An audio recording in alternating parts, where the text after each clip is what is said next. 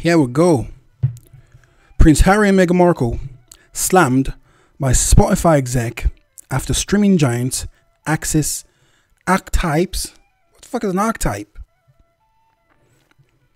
Did anyone know they had a podcast on Spotify?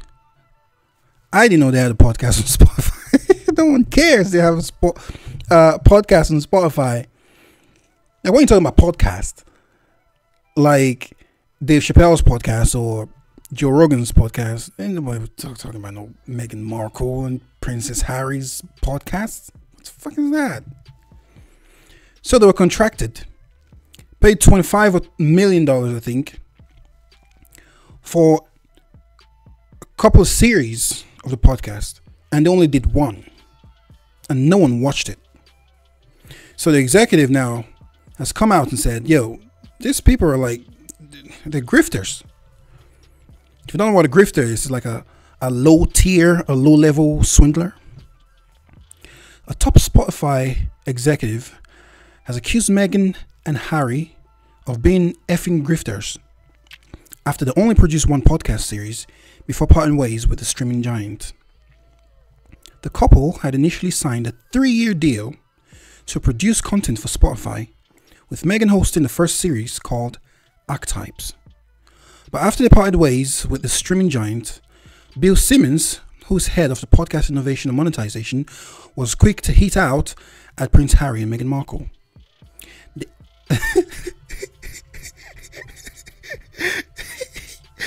the effing grifters.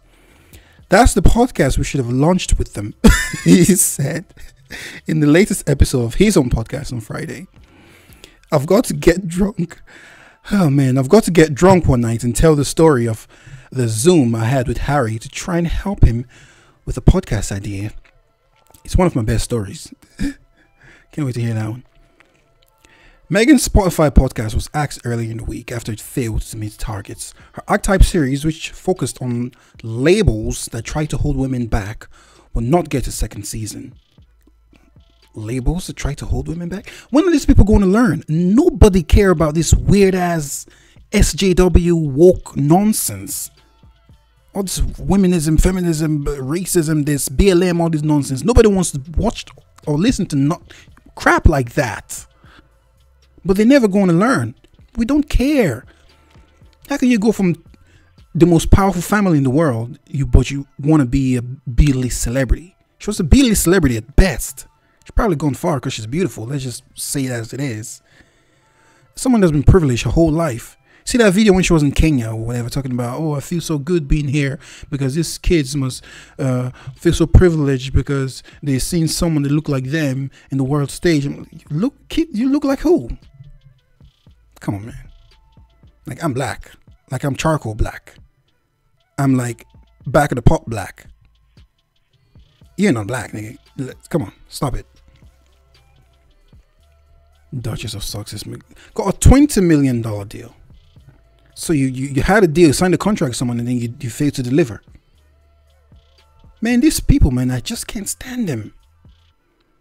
Man, they had a, a little nonsense the other day where they were in a an award show in New York. Then they had to stage a hot pursuit, or they were being chased down by some bizarre harmful videographers and paparazzi with camera. So they were like, oh, we had a two hour chase down the highway. Man, come to find out, it was only about less than 10 minutes that the paparazzi was trying to take a picture of them. And he's got, Harry's got mommy issues. And she knows he's got mommy issues. And she's playing on that. She's what we call a succubus. See right there? That's a succubus and she's going to suck the life source out of him forever because he's got a baby with her now. So that nigga, he's done. He's done. See every picture with them? She's in front and he's behind.